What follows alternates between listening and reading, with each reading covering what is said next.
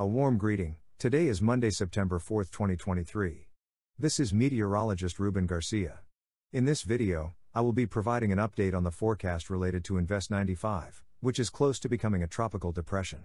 I will be giving an update on the forecast in terms of its path, although it continues to be projected that the center of circulation should pass about 250 miles northeast of the Caribbean. However, we continue to monitor Invest 95 because it is anticipated to become a powerful Category 4 or Category 5 hurricane when it crosses into the Northeast Caribbean. Since we are talking about potentially a dangerous hurricane, it is always important for residents in the Eastern Caribbean, specifically the islands north of the Lesser Antilles and Puerto Rico, to stay very vigilant regarding its evolution in case there is any drastic change in the forecast. If we take a closer look at the visible satellite image, we can see that the circulation continues to show signs of strengthening. Today, we have also seen the development of some outer bands, which are indications that we are close to it becoming a tropical depression. In fact, at 2 p.m., the National Hurricane Center confirmed that it already has a circulation center at low levels of the atmosphere. The only thing that remains is for it to develop strong thunderstorms over the center of circulation to be declared a tropical depression. If we look at the infrared satellite image, the center of circulation is located approximately in this area. You can see that it has started to generate some thunderstorms over the center of circulation. If this pattern continues, we will likely have a tropical depression or tropical storm Lee by the morning hours of Tuesday. At 2 p.m., the National Hurricane Center increased the chances of it becoming a tropical depression to nearly 100% over the next seven days. They also raised the chances to 90% for it to become a tropical depression within the next 48 hours. Over the past 24 hours, it has continued to move generally westward. It is anticipated that it will soon take a more west northwestward turn, as indicated by specialized path models. You can see that a west northwestward movement is expected at least until Thursday, followed by a more northwestward movement, which would take the center of circulation of the future Hurricane Lee at a considerable distance northeast of the Caribbean, between 200 to 250 miles northeast of the Virgin Islands. Similarly, global models align with this forecast. There is a lot of consensus, which is favorable because it instills confidence in this forecast. At the moment, no significant changes are anticipated in these paths due to this high consensus. It is very likely that when we have a tropical depression, this will be the path marked by the National Hurricane Center. The cone of uncertainty is likely to remain outside the region of Puerto Rico and the Virgin Islands, but we must await the official bulletin from the National Hurricane Center once Invest 95 is classified as a tropical depression. The models continue to predict rapid strengthening over the next five days. When it passes near the Northeast Caribbean, it is forecasted to be a powerful Category 4 hurricane or possibly nearing Category 5. Conditions will be so favorable in this area that the future Hurricane Lee will likely be the most powerful cyclone of this hurricane season. If it ultimately follows the path indicated by the model forecasts, it is definitely a significant relief for the Eastern Caribbean, as the passage of a hurricane of this category would certainly be catastrophic for the region. However, remain vigilant. Fortunately, the chances are very high that it will pass far northeast of the region. Let's see what the global models show. Let's start with the GFS model, which, as you know, in recent days has adjusted its forecast to be more similar to the European model. Finally, we have consistency in the runs of this model.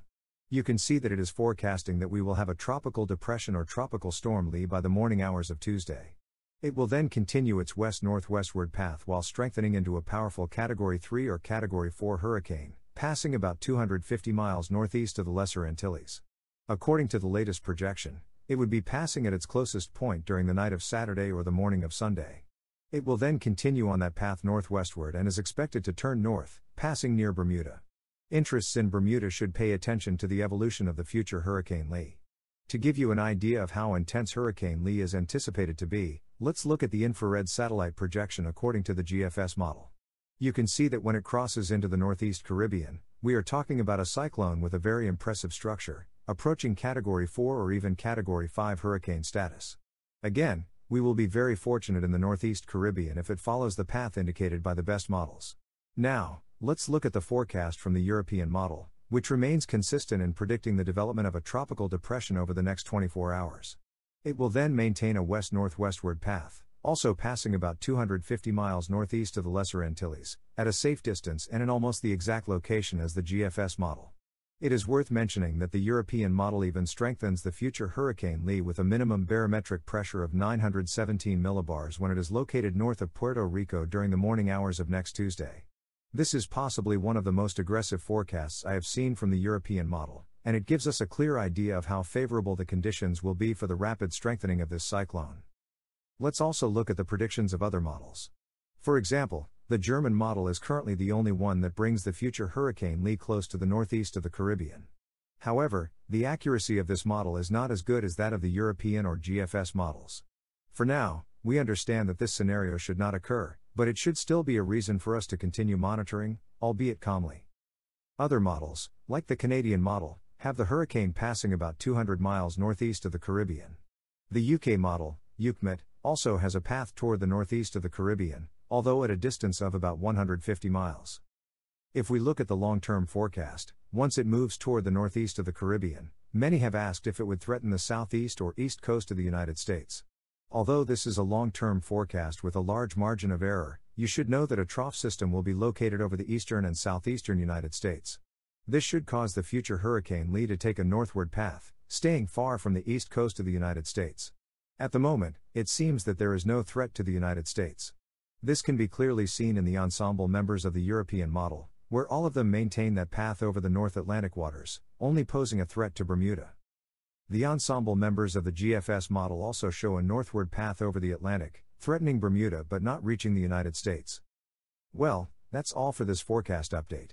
Since the models have been very consistent in their forecasts, I will likely be recording the next video during the afternoon or evening hours of Tuesday, unless there is a significant change in the forecast that prompts me to record a video during the morning hours of Tuesday.